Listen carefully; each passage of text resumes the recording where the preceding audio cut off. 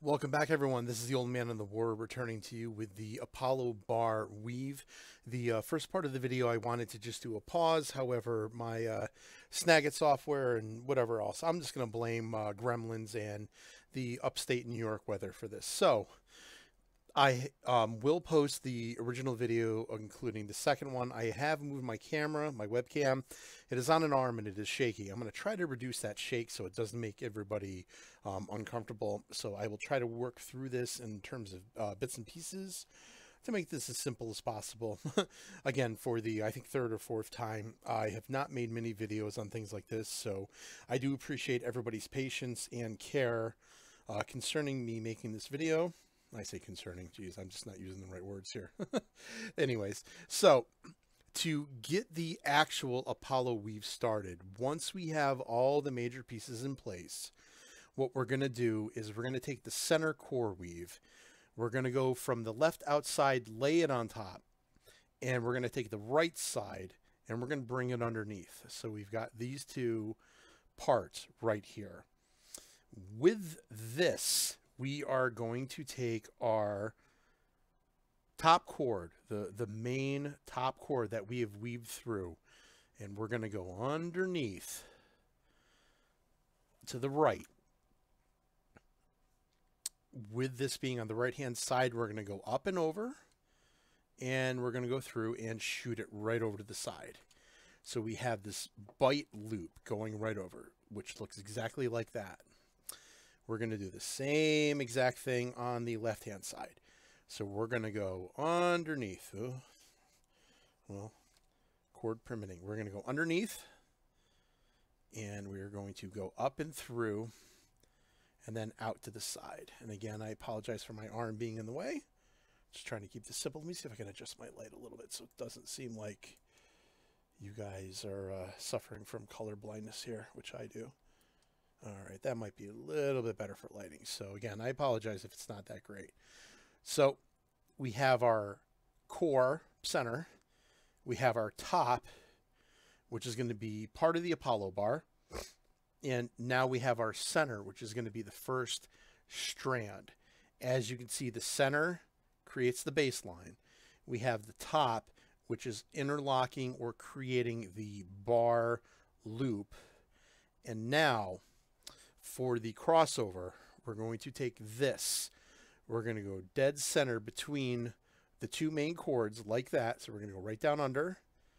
We're going to go slightly over to the right and we're going to go up between the cords here.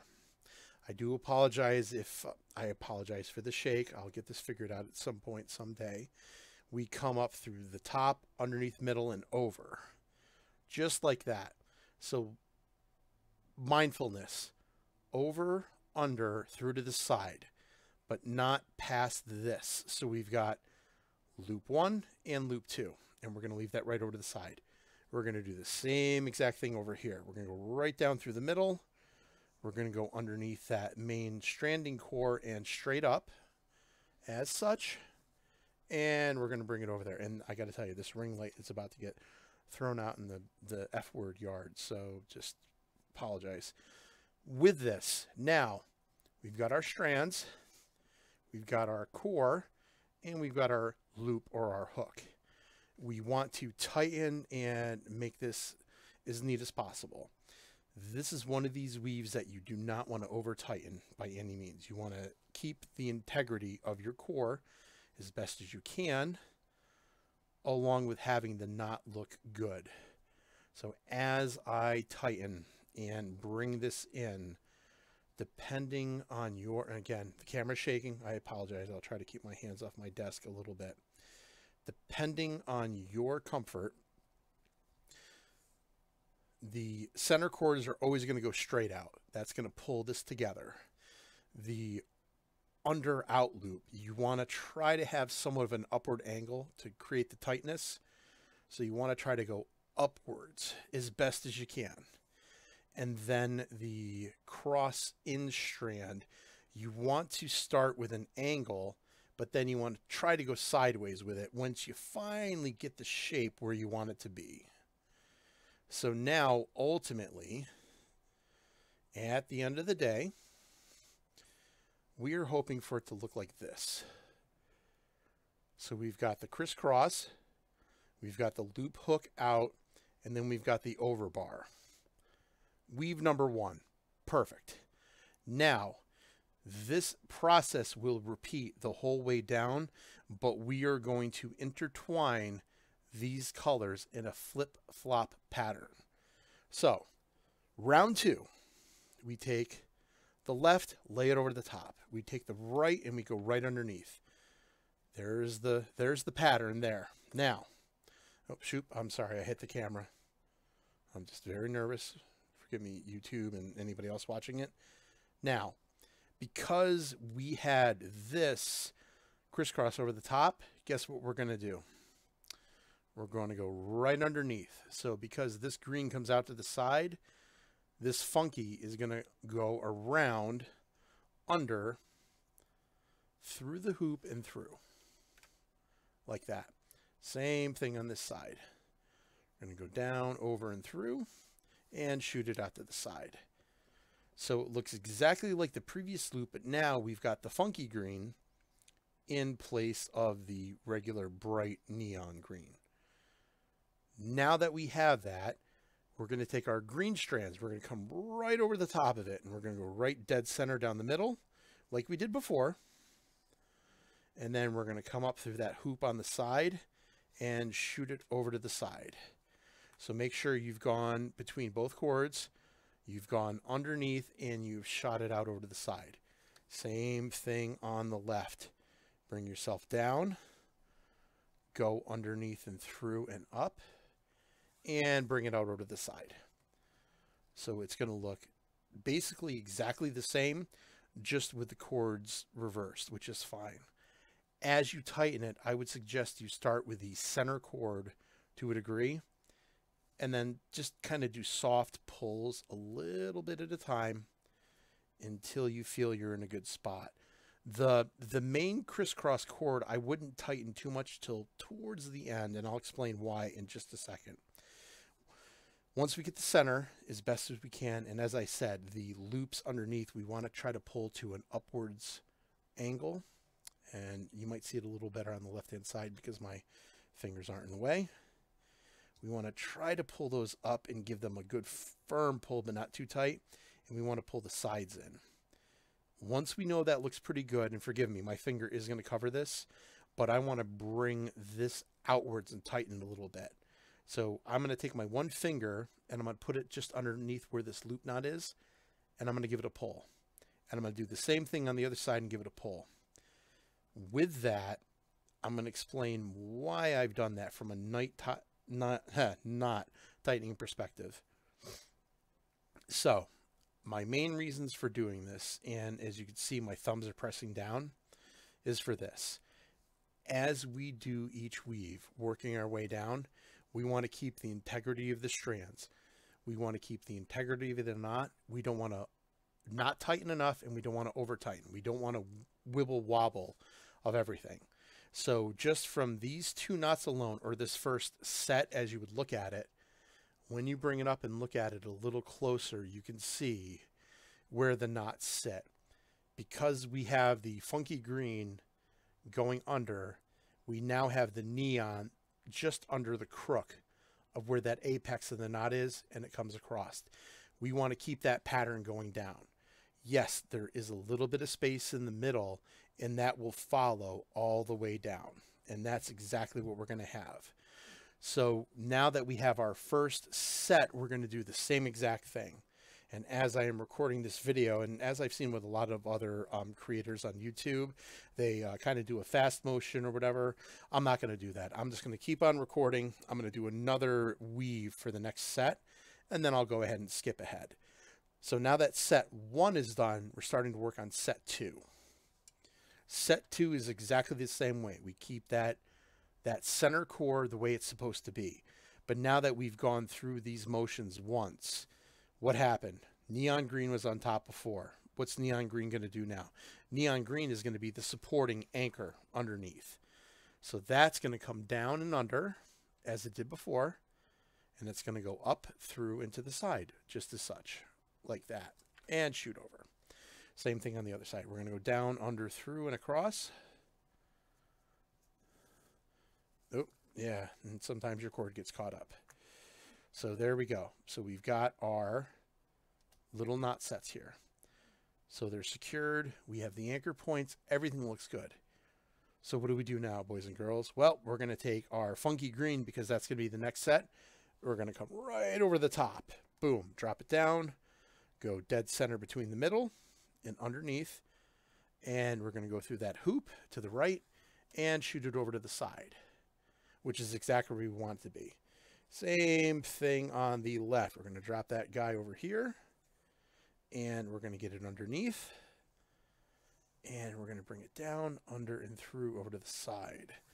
Once we shoot that over, there we go. We can see how our knot is looking. And from where I was talking about the crook, you're going to see this in just a moment. So I'm going to bring the, the center cords in a little tighter and then our neons I'm going to try to tighten in. Notice it looks a little sloppier because I had a little more slack in there. This will happen. Again, my fingers are kind of in the way, but when you tighten up your knots, you can always kind of pinch or hold a cord as you're working on it to get it where you need it to be. And again, as, as I said just a few moments ago, keep yourself honest and look at the status of your knots. Look to see where they are. So I'm kind of pulling a little bit here and there at a time, which is fine. That's kind of what you really want to do anyways.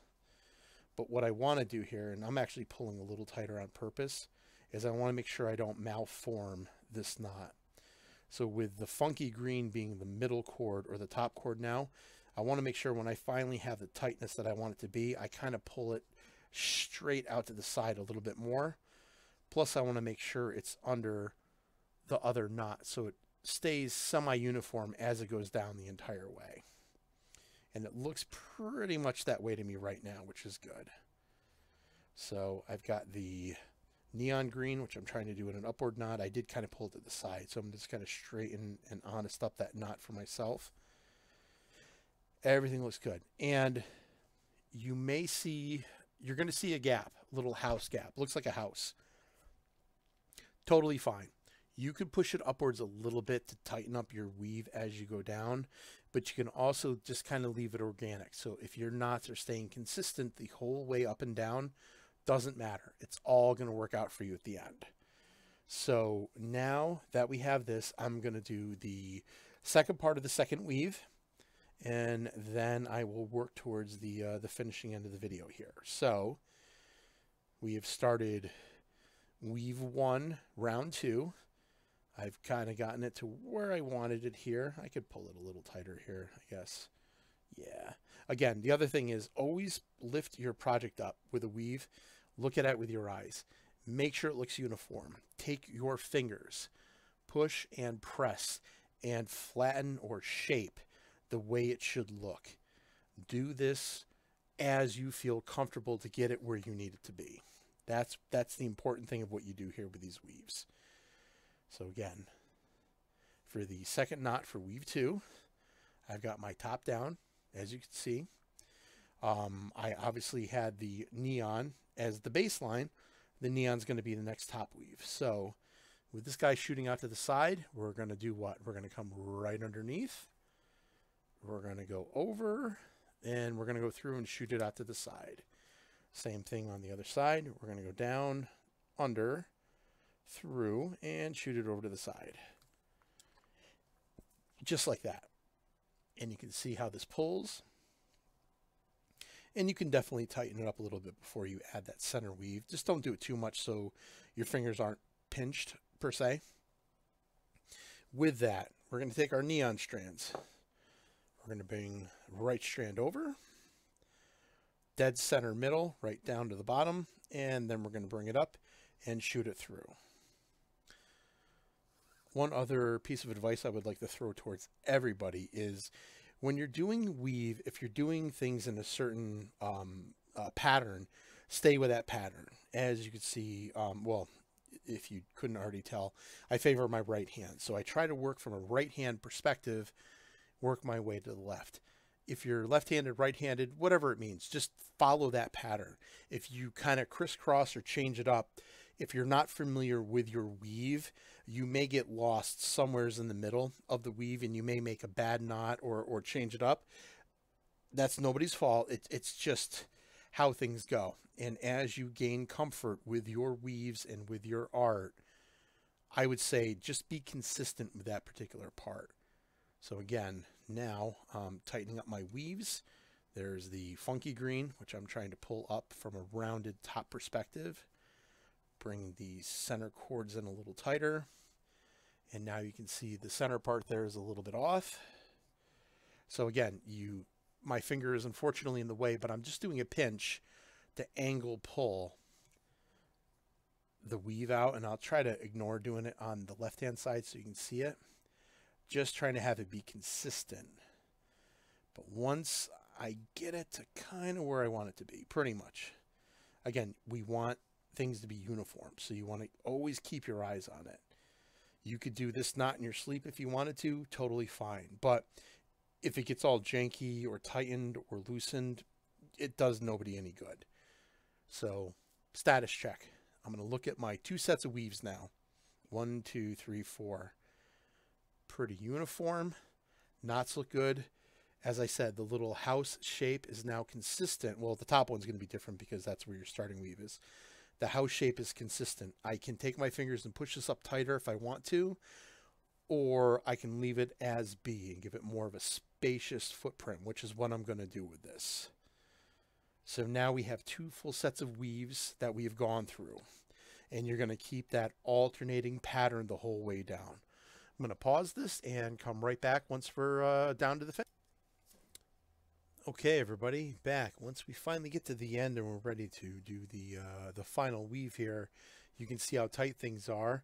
I do have a, uh, a brass fid that I'm able to sneak through the cords here. So I'm actually going to go ahead and work my way through and come up through the knot so I can get a nice clean finishing tie to these guys here. So I'm going to do the one to the right like we have been doing and the same on the other side. So we're going to go up and over through these knots here. And again, I'm just going to try to keep this as clean as possible here. Come up through into the side. There we go. All right, and then we'll do our final tie in the knot, and I'll be right back. All right, everybody, I am back. We're going to finish up this Apollo Weave bracelet. So now that we're down to the final end here, we're going to undo our Tighten on the jig. I'm going to get the jig out of the way here, and I'm going to remove the other buckle ends to make sure everything is good here. Get that out of the way. And again, to make sure that you've done everything right, your buckle should come in and connect the way that it should. So this is looking really, really nice. We just have to put the finish, uh, finishing touch on it. The way these strands are, you could definitely just go ahead and cut them and burn them, and you're fine. Um, what I'm going to recommend we do is with the bottom weave having the uh, the funky green, I'm going to take the green and go over the top of it, and we're going to flip this right over and bring it on the other side. Reason I'm saying that is I want to try to tighten and bring the weave in a little bit. So again, if you do have a fid, I would highly recommend doing this. Put your fid on the end of one of the cords and from the right hand side, we want to try to lock those guys in as best we can and go underneath the bottom part of the one weave. We're going to loosen it up, but that's okay because we're going to tighten it right back up once we go through. So I have brought this through and I'm bringing it over and you can see this little simple knot that I made. No big deal. And the other two knots are there so we can cut and get a nice clean burn. I'm going to undo my weave.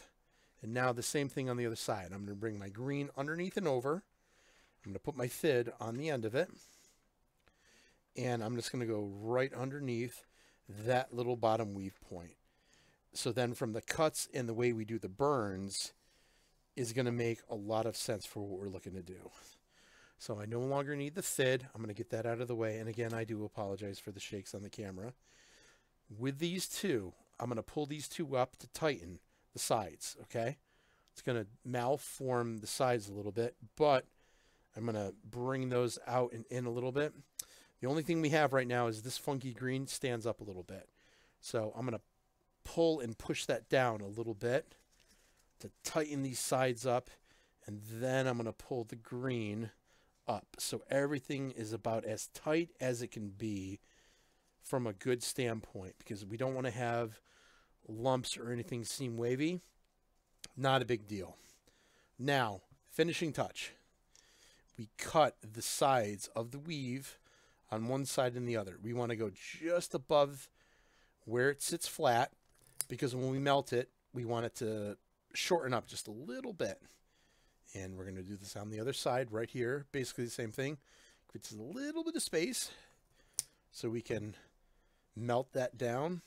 And then the same thing from the underneath. Now that we have the underneath, we want to cut close, but not too, too close. So I'm going to do one at a time. Got this one with a little bit of space, and this one, I'm going to angle it with a little bit of space. Reason for it is when we get our torch under it, it's going to melt down a little bit, and it will sit flush based on the way we do it. First things first, I want to take care of these two middle ones. I'm going to take my torch, I'm going to turn it on, and I'm going to lightly melt them. No big deal. There we go. A little bit of a melt. I apologize for the blur, but I'm going to take my channel lock pliers, and I'm just going to run it over to the top. So before it cools down too much, I'm basically just taking the little melt and flattening it down. So that locks it down and brings those two together, which is exactly what I want. We're going to do basically the same thing on the sides because you can see, and I apologize for the blur, these stand up a little bit. Not a big deal. And the other side I actually cut a little closer. And that one I'm a little more worried about because I want to make sure it doesn't come through. So I'm actually going to pull this end up a little bit more. So I'm going to melt this end first. And I'm going to do a little bit more of an actual melt melt so it just kind of blends in and leans against the other cords. There we go. A little bit of a hotter melt, and I'm just going to take my channel lock. I'm going to lean it against it. There we go. Yep, that's not going to go anywhere right there. So that's a good, nice melt. Very close. I should have cut it a little longer. It's okay. Not, not the end of the world. I'm not selling this bracelet. This one is for me, so I'm, I'm fine with what goes on.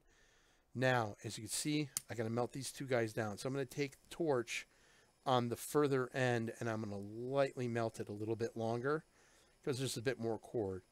And you can see that the cord bubbles a little bit. I'm going to wait a few seconds and then I'm going to run the pliers over.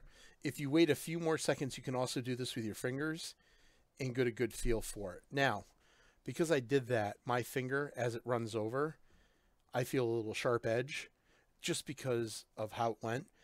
I'm going to take this and run it over really quick, soften it, and because I've been doing this so long, I have what I call asbestos finger. I'm just going to take my my thumb and my regular finger and just kind of form press it, and that's it. I've got my two cuts, and then my center cut. Everything is nice and clean. So here is the Apollo bar just over nine and a half inches for a wrist size with the material lengths that I had talked about. As you can see from top down, it looks really, really nice. It sits really well with the three quarter inch buckle. I'm going to put this on real quick so you can see. And it is pretty awesome. So again, I want to thank everybody who's watched this video. Um, again, as I've said probably now for the seventh time. Um, if you have any questions or anything, please leave a comment below. I'll be more than happy to answer it. Uh, I'm going to definitely do more videos like this. I'm going to get better at it and uh, hone my craft. So thank you very much for your support, and I will talk to you soon. Bye.